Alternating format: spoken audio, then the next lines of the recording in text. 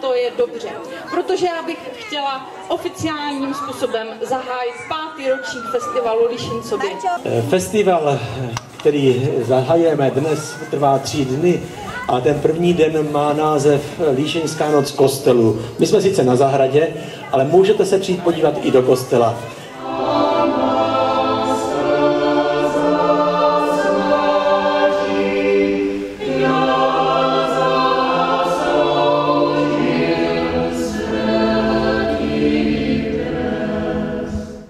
Tento festival má představit nejenom místní spolky, místní osobnosti, ale také zajímavá místa v Líšni. Eh, Jsem rád, že to funguje a že to fungovat bude. Myslím si, že všechno řečeno bylo, takže my to považujeme za oficiálně zahájené a vám přejeme tři dny pěkné zábavy. Děkujeme.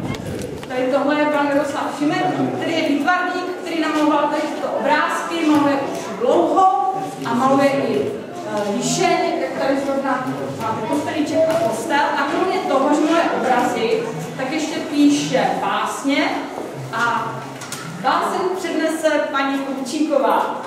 A já jí dávám slovo. Když se tak dívám, jste zvědavý velice, jak prožila leto umělecká dvojice. Znám už je fungovat víc než dost, je to si myslím i moje povinnost. Nesčíslné zástupy lidí vidím jako mlhu. Všelijakého věku, vzrůstu, stavu řádu a povolání tam byli. Jedni chodili, jiní běhali, jiní jezdili, jiní stáli, jiní vstávali, jiní rozličně sebou vrtěli.